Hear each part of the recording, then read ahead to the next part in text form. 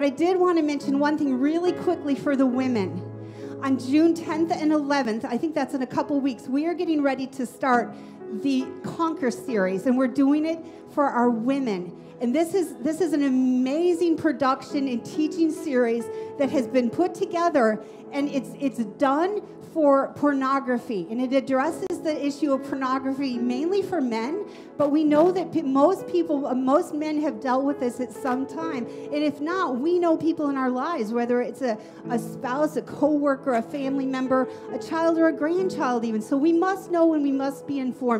This is one of the best series. But what I love about it is, it's kind of like uh, we have an amazing inner healing program too. This addresses it in a different way. It's kind of inner healing on steroids. So you're going to get you're going to get some good foundational truth stuff. Maybe you didn't know or hear before that you're going to want to know because it's really good for any stronghold or addiction. Okay, so we're going to learn and grow in that this summer. Be sure um, there'll be more information coming up soon and in the bulletin. Yes, it's on the screen. So keep that in mind, women. You want to do the Conquer series this summer.